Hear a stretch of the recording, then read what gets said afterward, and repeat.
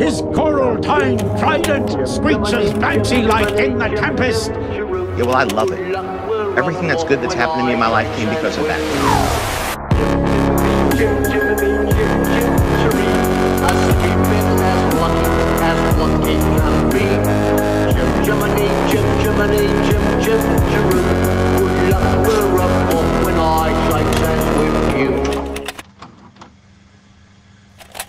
Gang, welcome back. This is series where I review old films, new films, films I haven't seen before, TV shows and everything in between. And this week we are back again with WandaVision episode 4 review. You're not my neighbor. And you're definitely not my friend. You are a stranger and an outsider. And right now you are trespassing here. And I want you to leave.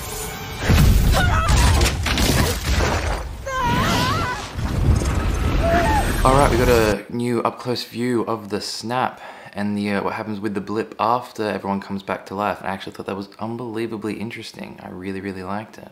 Thought it was really cool. I like they keep adding layers to Wanda's powers in this TV show. It just seems to keep like amping up and amping up, and now she's actually at the point where she can, um, where she can uh, alter people's real world memories, and um, I think that's really cool. I like that. I like the way they're going with this.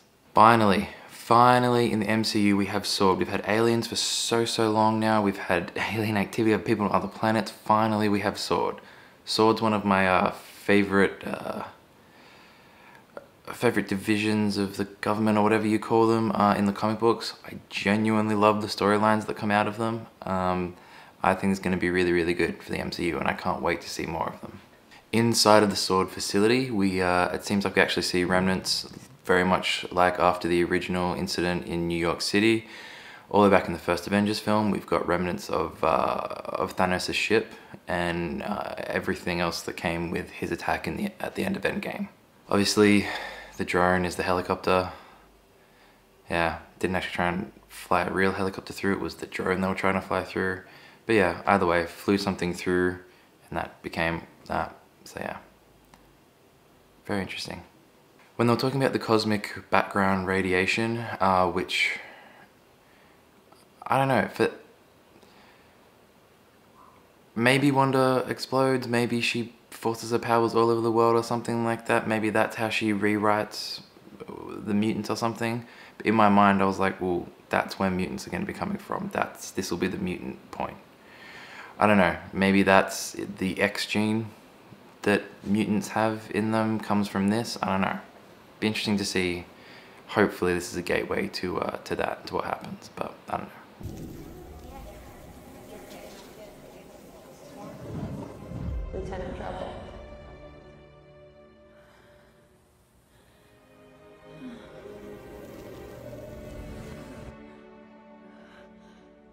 So obviously, we all know that the uh, the Big Bang energy that they were talking about, um, or energy from the Big Bang, uh, comes from the Infinity Stones because they've said in the films before the Infinity Stones were forged uh, at the uh, start of the universe for all the different elements and powers that create life and matter and all that sort of stuff. Um, probably not going to be anything extra on that. They'll probably just realize that it's the stone because she got her powers given to her by the Mind Stone. So yeah, it was really really nice to see Kat Dennings back in this. Um, not only because she's a very funny actress, but um, it's nice to see that she's an actual doctor now. That she started out as an as an intern in uh, Thor and Thor Two, uh, the Dark World. But um, yeah, now she's a, she's a proper doctor and she's she's she's she's really smart. She's doing all this stuff. It's awesome. It was really nice to see her back. I liked it a lot. The main thing I felt in this episode was intrigue. I'm so intrigued now just to see how this is going to be resolved and how they either snap her out of it or how they force her out of this situation. I just, ooh, I'm very, very keen. I'm very, very keen to see what happens. I'm gonna have to watch this episode through again a few more times. Um, there was a lot that happened in this one and there's a lot to unpack. Um, this episode was mainly like filling in a lot of, uh, a lot of the plot and a lot of uh, the narrative for us as viewers and we sort of knew that going in. I've seen the trailer, so I didn't really expect too much coming out of it. But yeah, um, Jesus, seeing Vision dead, standing there and talking, that was haunting. I was like a zombie. It wasn't nice to look at. That was, oh, ugh, gave me the ick. It's not nice. Yeah. The bit which wasn't cut out of the episode before this um, is a little maniacal and a bit crazy. She's clearly very, very protective of this world she's created, just like I said last week. But god damn, she's she really went for it. They could make her a really, really, really good villain out of this. She would be a scary and almost unstoppable villain. I don't know why. I know Wanda's going through some stuff. Um, and I know that she's doing, it's probably going to be doing terrible things. People going missing and everything. But I sort of just want them to leave Wanda alone at this point and just let her get on with it and live her best life, even if it is fake. Yeah. Normally at the end of the episode, I would uh, talk about all the different uh, theories that I have and stuff for next week and for future episodes. And honestly, at this point, I said them in the last few episodes. Some of them are true, some of them aren't. I, I don't really have any going forward this week. I'm gonna watch it a few more times to see if I can figure anything out. But this was more of a filler episode, so I don't really have any um, any theories about next week's episodes or, or, or anything else right now.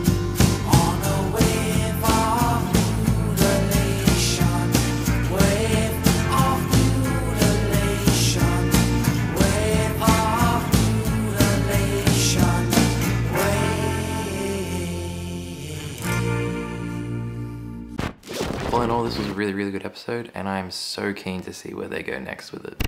Alrighty, gang, that was my review of WandaVision Episode 4. Did you like it? Did you agree? Have you seen the episode yet yourself? Let me know in the comments down below. You can follow me on any social media things like TikTok and Instagram here at this thing. Don't forget to like, share, and subscribe. And I will see you next week for WandaVision Episode 5.